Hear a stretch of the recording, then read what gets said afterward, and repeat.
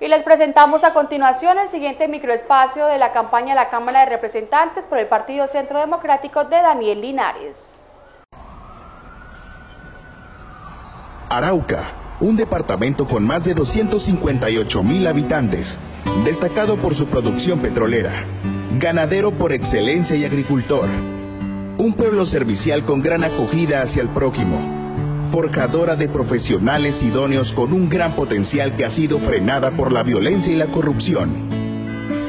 Están los que piensan que el futuro nos deparará más de lo mismo, y existen jóvenes modernos quienes creen y piensan en una Arauca renovada.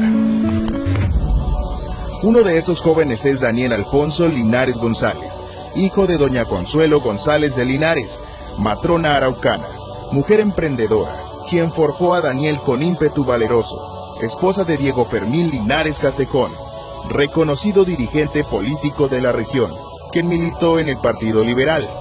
Fue concejal durante el periodo de 1992 a 1994 y tres veces diputado entre los años 1998 y 2007, secretario de Gobierno en Alcaldía Mandato Marcos Ataya, secretario de Educación de Gregorio González. También fue fundador del Día Internacional del Llanero Auténtico.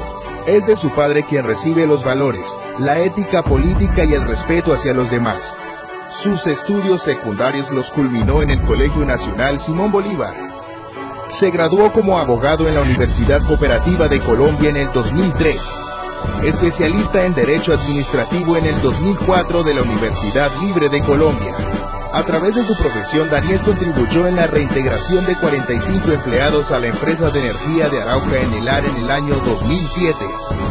De igual manera logró la indemnización de más de 100 víctimas del desplazamiento, hurto y abigeato, teniendo en cuenta los altos niveles de corrupción en el departamento y de ver una politiquería vacía sin ideas, hace que Daniel Linares sea el representante que todos necesitamos para renovar Arauca.